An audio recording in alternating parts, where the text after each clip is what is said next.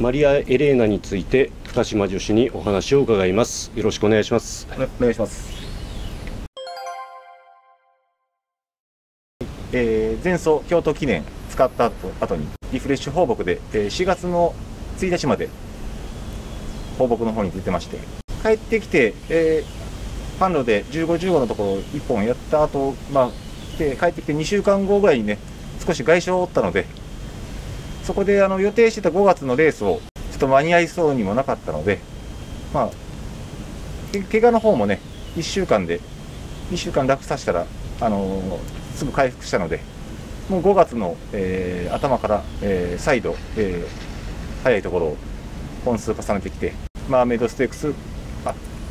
に、あの向かおうっていう判断が、えー、大体、えー、先月の5月の末ぐらいに大体もうこれで間に合いそうだなという雰囲気もあったので、でここまで無事に調整はできたと思ってます。え、先週酒井ジョッキーに乗ってもらって、えー、コースの方で長めから、えー、合わせまで、えー、追走する形で、えー、しっかり負荷かけたので今週は、えー、もう、あのー、先週の強い調教に対して、えー、馬の方がダメージがあるかないかとかそういう判断だけで時計的にはそんなに速くはないですけど、まあ、いつもながらね、あのー、最後姉妹はしっかりと反応してましたし。まあ、小柄な牝馬でもありますし、まあ、やりすぎるよりは、えー、ちょっととどめておくぐらいの方がいい感じですし、まあ、十分乗り込み足りてるような内容で昨日の動きは良、えー、かったと思ってます。仕上がり、えー、等は、えー、問題ありませんか？そうですね、あのー、そんなにね、体調に変動のあるまではないので、一度、まあ、あの追い切り長期を重ねていくと、もう馬の方は、えー、それに伴ってね、あのー、集中してくる馬ですから、問題ないと思ってますね。はい。えー、まあ、あの2番手から、えー、開幕週でもあり、ちょっと馬場の方も重たかった分もあって、まあ、積極的に前々で流れに乗っていきましたけど、まあ、コーナーぐらいからね、やっぱ後ろからも結構プレッシャーもかけられましたし、そんなにね、着差はないんですけど、やっぱりね、まだあの男馬の一戦級とか、まあ、相手になるとね、少しまだ力不足なところもあったと思いますし、まあ、酒井ジョッキーもレース後には、一ハロン長いような感じもあるという形もで言われてましたから、まあ、これもね、今後に生きる経験だと思いますし、えー、今回、それをね、糧にして頑張ってもらいたいと思ってます。そうですね、あの年明けの、えー、愛知杯が牝馬限定で、同じ2000メートル、まあ、競馬場は違いますけど、惜しい内容でしたし、まあ、今回はちょっとハンデ戦でね、あの金量は背負いますけどね、あの牝馬同士であればね、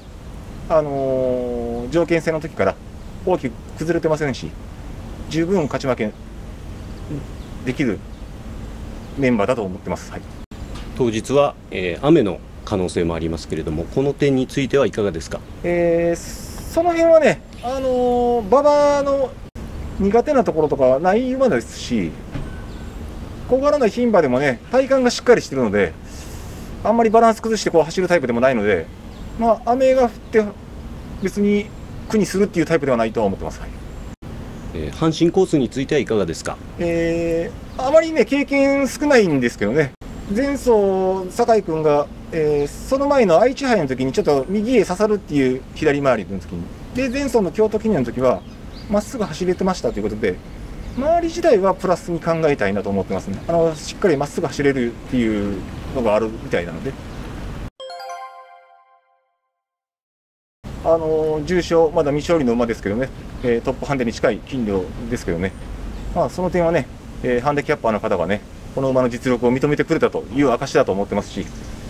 まあ、小柄な牝馬でもね、本当にあの体がしっかりしてる馬ですから、55、特に問題にはしてません。で、まあ、この後、えー、去年もそうですけど、夏場も、えー、連戦していくつもりでいますし、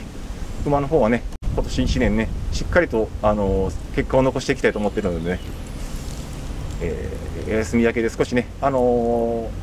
レース、予定してたレース先延ばしになりましたけど、応援してくれるファンの方にね、えー力強いマリア・エレーナを競馬場またはねテレビの方で応援よろしくお願いします。本日はありがとうございました。ありがとうございました